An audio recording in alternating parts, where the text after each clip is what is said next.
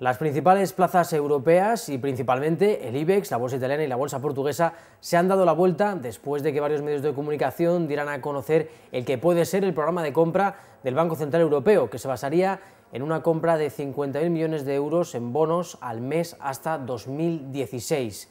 Por tanto, las bolsas europeas se han comportado bien, con un avance medio del 0,8%. El IBEX ha subido un 0,5% por encima de los 10.300 puntos. En lo empresarial, Día lidera las eh, revalorizaciones con un 3,5% arriba.